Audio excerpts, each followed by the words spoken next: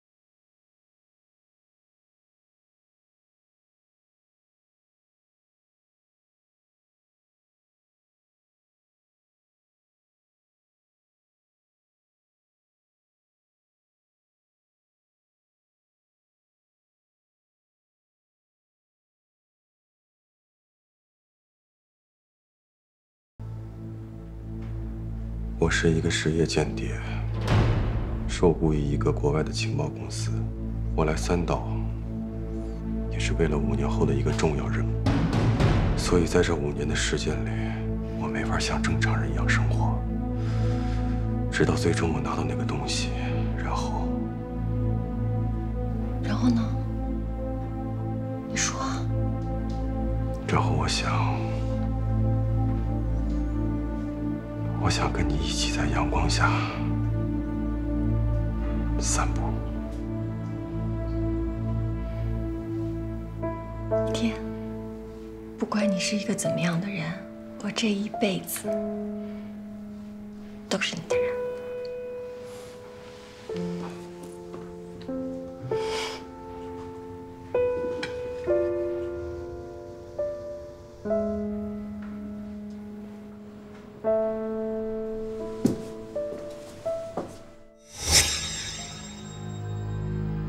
不想说点什么吗？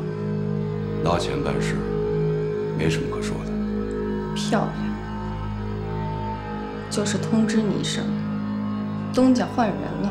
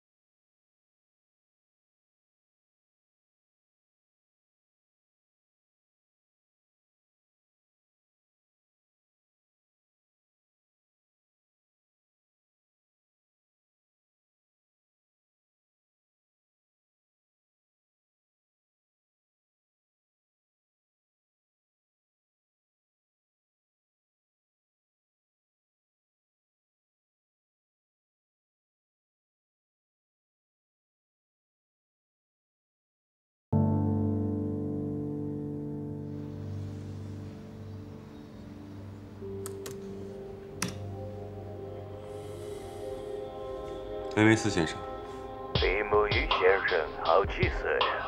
过奖了，气色不如您呢。现在是丰收的季节，我是不是应该给您道个喜？我不觉得有什么能让我高兴的。怎么能这么说呢？我们一直信任你，所以一般对于交给你的任务，公司很少过问。不过我得提醒你，这次行你不能有任何闪失。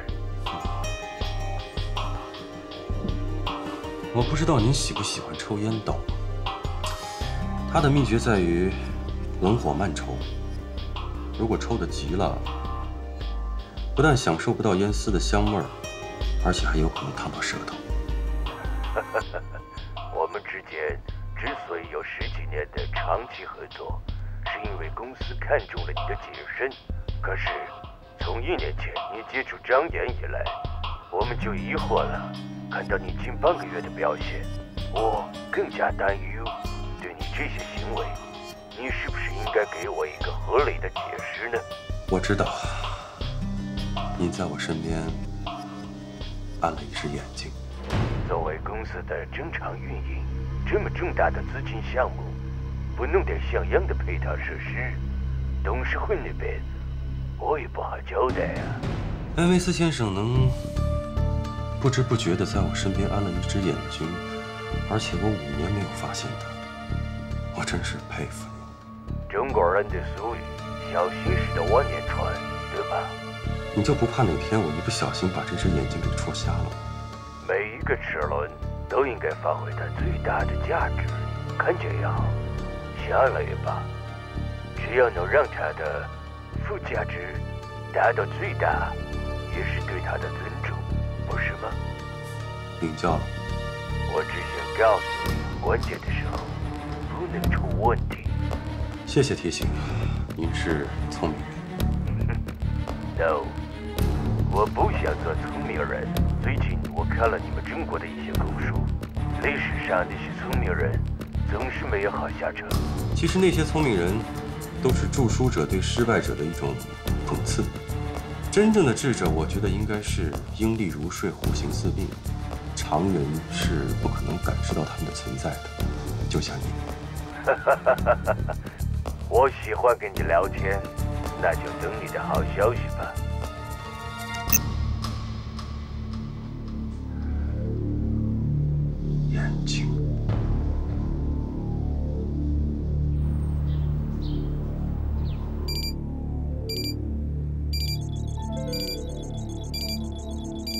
婉君，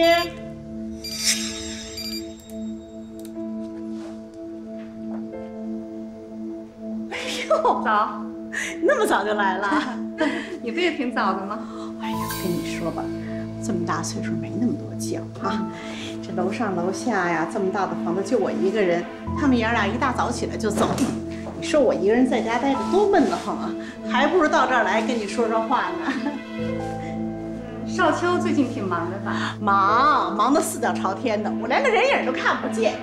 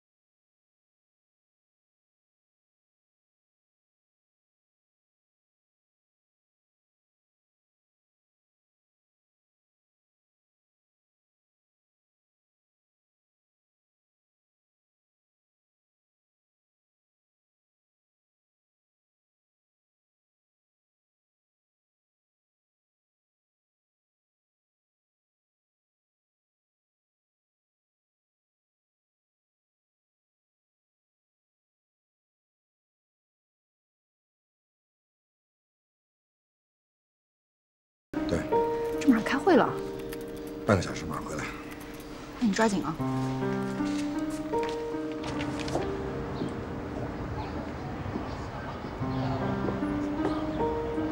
哎，吴先生，你好，你好，请坐，请坐。哎呀，不好意思啊，百忙之中打扰您了。不用这么客气，我只有半个小时的时间，什么事儿，请说吧。啊那我就直说了，我想跟张岩订婚。真的啊？那这好事儿啊。只是这件事情，只要是你跟妍妍定了，你们应该直接到家里去跟父母讲，没必要单独通知我吧？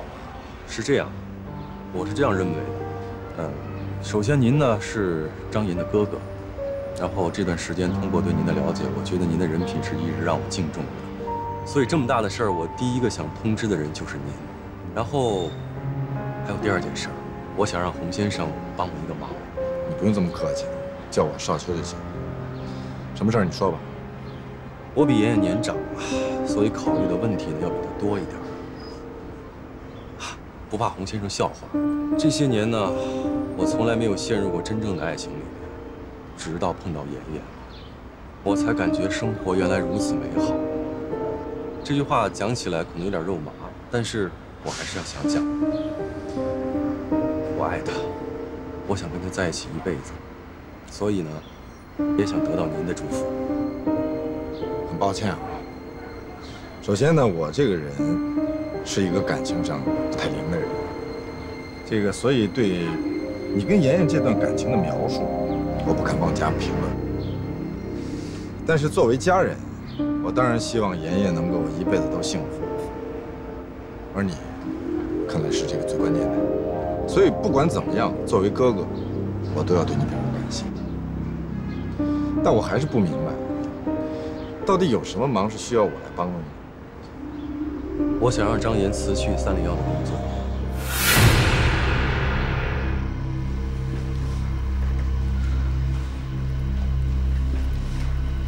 不用等红队了，开会吧。李校长，你记录一下，一会儿汇报给红队。是。各组汇报进展情况。小伟，从你开始吧。是，这是在2005年到2010年所有退伍士兵资料中，我们搜查出来跟犯罪嫌疑人接近的画像，大约四百多人。预计晚期的时候给出最终结果。其实呢，这个问题我也是最近才发现的。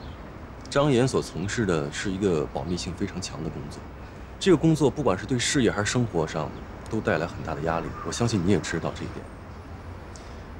他呢，又是一个很要强的人，所以对工作上呢是一丝不苟。我的想法呢是，我想跟他一起创造一个美满幸福的家庭，根本不需要让他去担心什么经济上的问题。比如说，将来我可以带他跟孩子去周游世界，然后在有限的时间里边，我们可以去尽情的享受生活。对。可是最近呢，他真是特别忙，越来越忙。所以我觉得这个问题有可能将来会是我们不可调和的矛盾。这件事儿啊，虽然我听起来觉得你讲的很有道理，但还是恕我爱莫能助。一是我们对这件事情的理解上可能存在一定的偏差；第二呢，这毕竟是你们俩之间的事儿，我觉得还是你们俩之间消化掉比较好。你觉得呢？洪先生，我觉得您能不能就是你今天找我来就是为了这件事？对，就这件事。好，那我明白了，回头我再想想。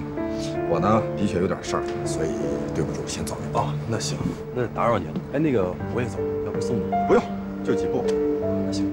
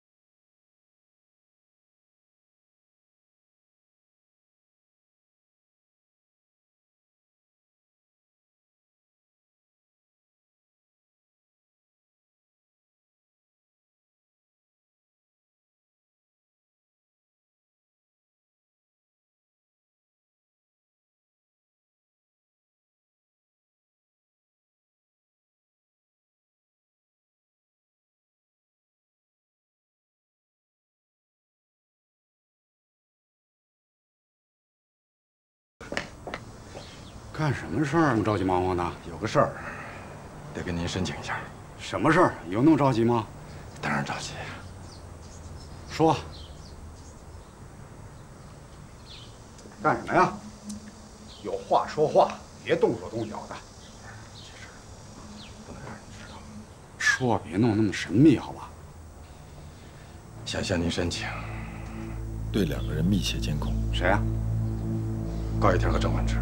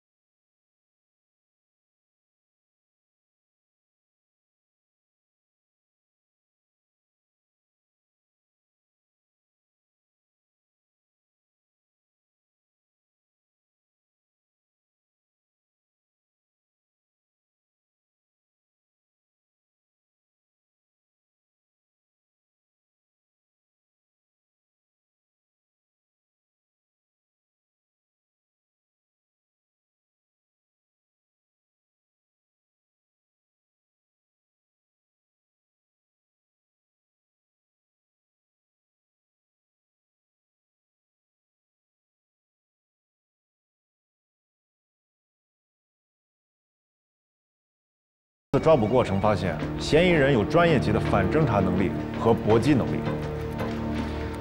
这个人很有可能有过境外雇佣兵的经历。同意红队的看法，这个人肯定接受过专业级别的训练。总结完毕。红队，你再说说你的想法吧。我判断，这个人应该是某个间谍组织的核心成员，而那个给我们提供照片线索的人，从他的能力和手段来判断。应该同样是一个核心成员，那么问题就来了，这到底是一个间谍组织内部的内讧，还是两个组织之间的相互倾轧？还有一个组织参与吗？不是没这可能。海龙号最后一次下水马上就要开始了，时间紧迫，咱们不能再走任何弯路，一定要在最短的时间内找出正确的答案。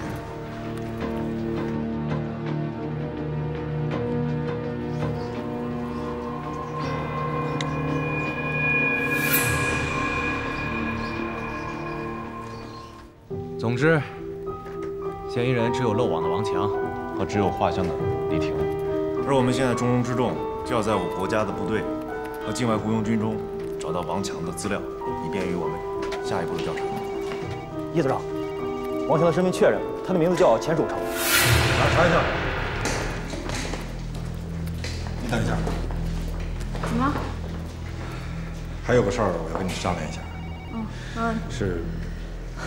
高一天和郑婉之的事儿是吧？厉害，要不让你来当这个专案组的组长呢？下命令吧，我们应该下什么命令啊？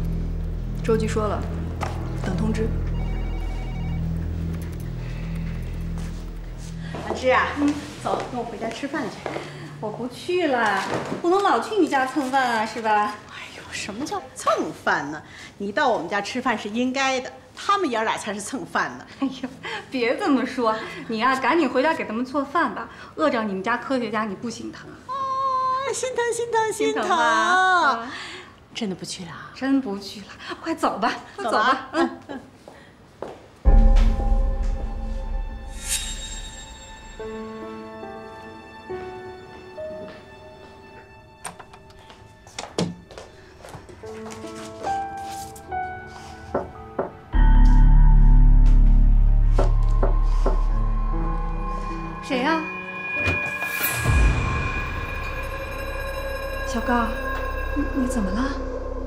天有点不舒服，想让您帮着瞧瞧。那你哪儿不舒服？我给你看看。有双眼睛老盯着我，后背直发凉啊！别瞎说，这叫什么病啊？你怎么还拿枪呢？快放下！别装了。白玉小姐，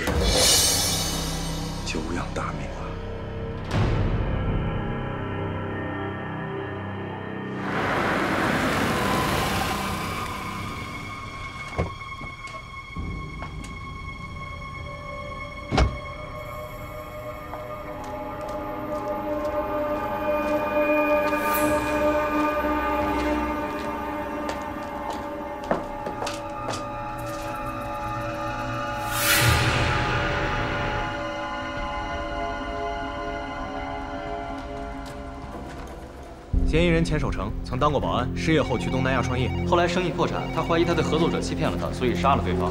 被当地警方通缉时，加入了该国招募的外籍兵团，这让他的刑事案得到撤免。但二零一零年，他退出外籍兵团，至今下落不明。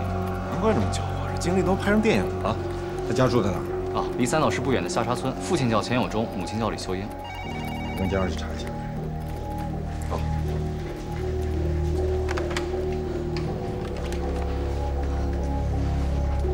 月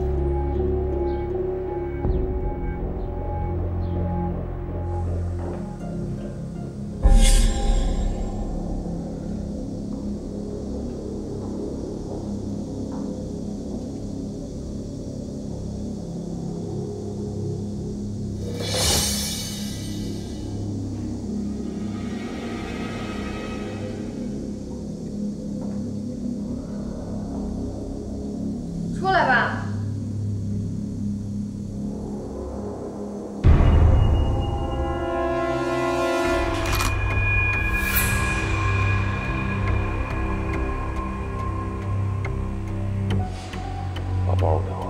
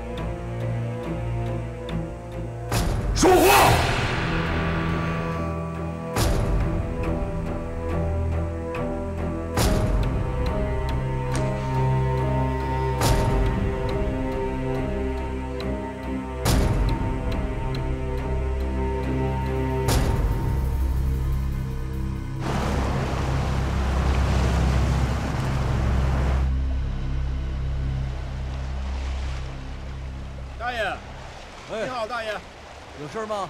给你打听个人啊啊，那个钱有忠的儿子钱守成在不在村里？啊，我不知道，不知道。哎，什么情况？他吓着了吗？走，到村里去问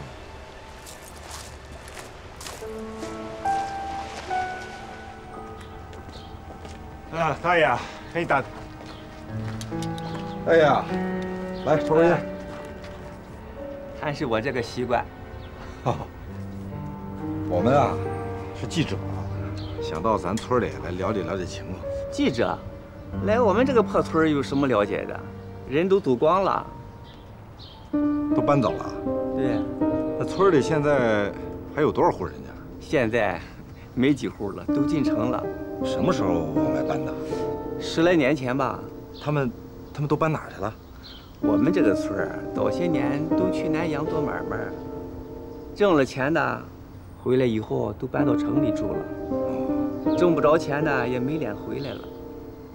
这个人啊就这样，一个人走了，一群人都坐不住了，这不，没几户了。您是咱这村里的老户了。我们村儿比我年龄大的还有一个。哦，那我们想向您打听个人。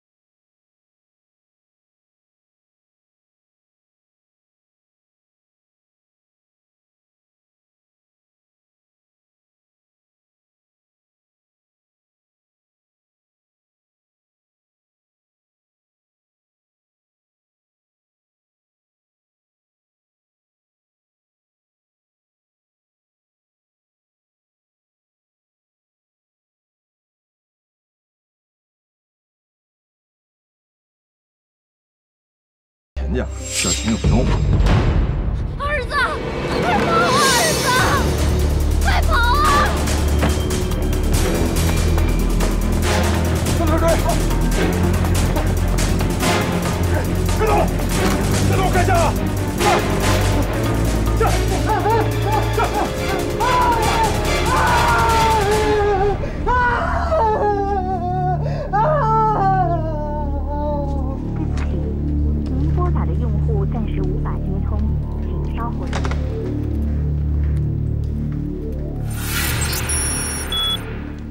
你大老爷们儿，你哭什么呀？你有什么事咱俩聊聊行不行？哎，你抬起头来行不行？你抬起头来看看我，你看我像坏人吗？我们又不认识，你跑什么呀？我瞅你啊，跟我差不多大，是不是八零后？哎呀，我们肯定有共鸣，有什么事跟我说说，我万一给你解决了呢？是不是？来吧，咱俩聊聊，好吧？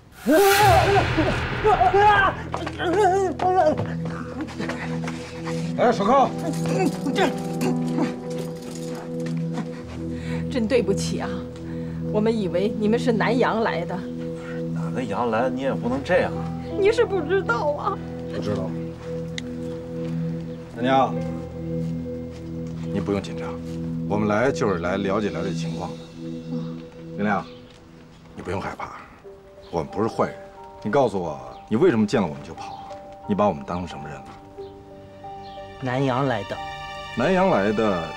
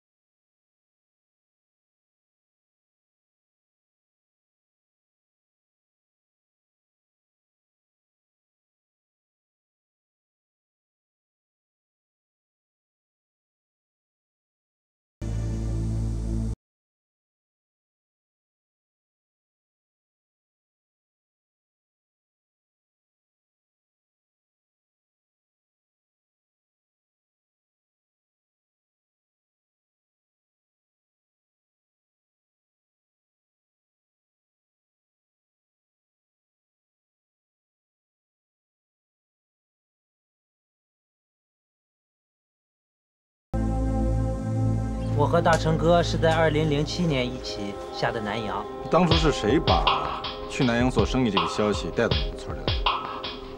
记不清了，大概一二十年前就有村子里的人去那边发财了。慢慢的，只要是下沙村的人没有了出路，都会选择下南洋这条道。每年都有人去，可是后来，嗯，过去的十年，一下子人就少了。为什么？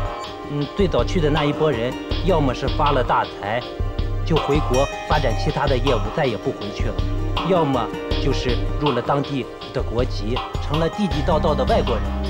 他们这些人不愿意帮助村里的人，还有一些人破了产，再也没脸回来了。那当初你跟钱守成，你们俩怎么动了也去南阳的心思了呢？有一个很久没跟村子里联系这个人，他忽然发来消息说，南阳正好是经济回暖，是挣钱的好机会，所以，嗯，大成哥当时正好在县城里面做生意，开小店，他想多挣点钱，就想去南阳试一试。可钱守成为什么要叫你们一起去呢？啊，是我，是我让他跟那大成一块儿去的。这个孩子啊，从小就老实，三巴掌打不出个屁来，没出息。他从小啊就跟大成一块玩儿，是我呀，让他跟着大成到南阳啊去见识见识。你说哪儿想到？你说他去了就差点没回来。大妈的，别激动，别激动，我们好不容易让他冷静下来。那您跟我们说说，钱守成他是个什么样的人？大成啊，大成是个好孩子呀，这村里人都知道，大成是个孝子。他当年在单位呀，单位的领导想提拔他给他转正，这刚想。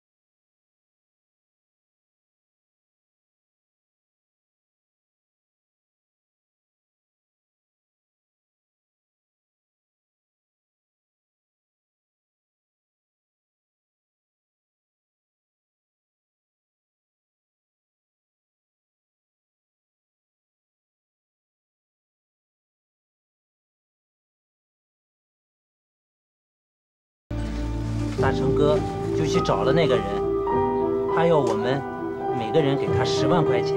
我家一时拿不出那么多钱，还是大成哥帮我给垫上的。他说对方说了，只要找好工作，不出半年就能把十万块钱给挣回来。哎呀，都什么时代了，这你也信？你不说话能憋死啊！哎呀，我们替他着急。哎，你们说，你们是不是把钱给了他之后就消失了，是不是？不是。我们去了南阳之后，他还来接的我们。那工作给你们安排了吗？没有。钱退了吗？没有。那为什么没退啊？因为，因为他不见了。这不一样吗？我们做梦也没想到，我们会被我们的老乡给骗了。秦守成在南阳杀的那个人，就是他吧？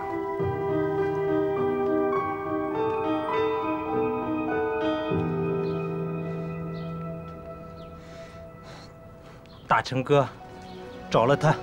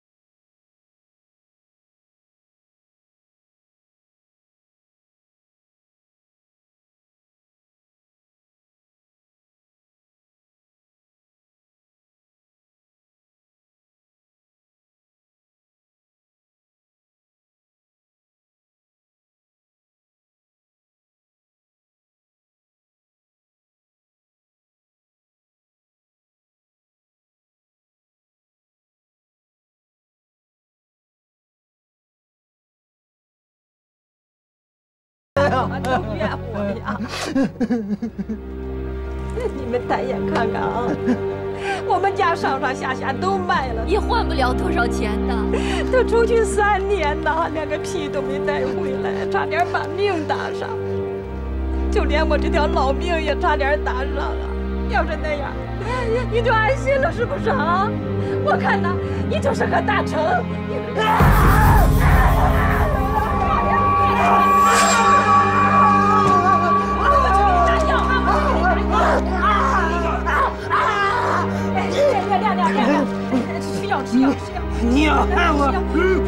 妈怎么能害你啊？来来来，啊，来来糖豆糖豆啊啊啊！妈对不起你，妈就不应该让你去南阳。他这是怎么了？自打那两个南洋人来村里，他就受刺激了，经常犯病。大夫说没法治了，只能吃药控制。您说那南洋人什么时候到你们这儿来的？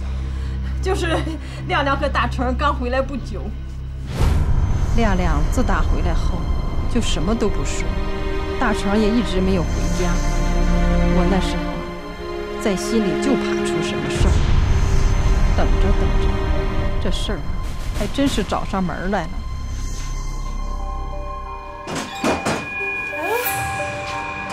你们找谁呀？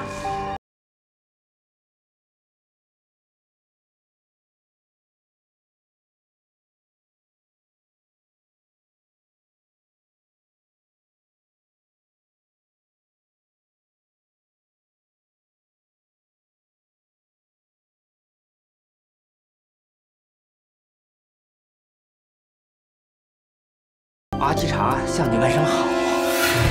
妈，快跑！快跑！你们放开我儿子！放开我儿子！你们这阿姨，什么呀？阿姨，没事 你们放开他！沈亮，别闹了，你小心我的手会发抖啊！你们，你们到底要干什么？你们中国人不是常说冤有头债有主吗？你们欠的债总得还吧？钱都藏在哪儿？我不知道啊。知道。钱都藏不在家是吧？我知道，你知道他在哪儿。走，麻烦你带我们去一趟。走，走。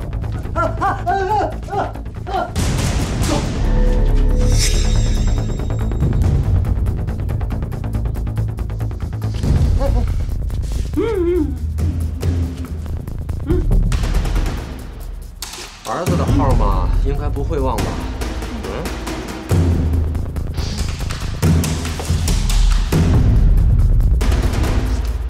来吧。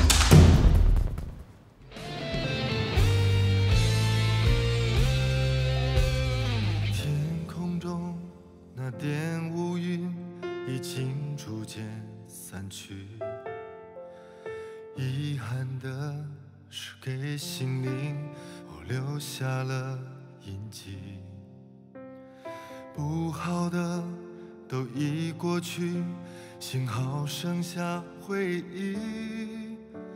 我们无法知道未来命运，但要学会勇敢面对失去。哦，我知道你此刻有多么多么的伤心，最看不了